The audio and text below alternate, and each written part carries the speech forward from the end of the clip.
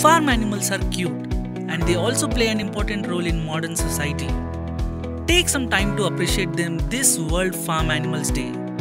Created in memory of Gandhi, who believed in treating all living beings with respect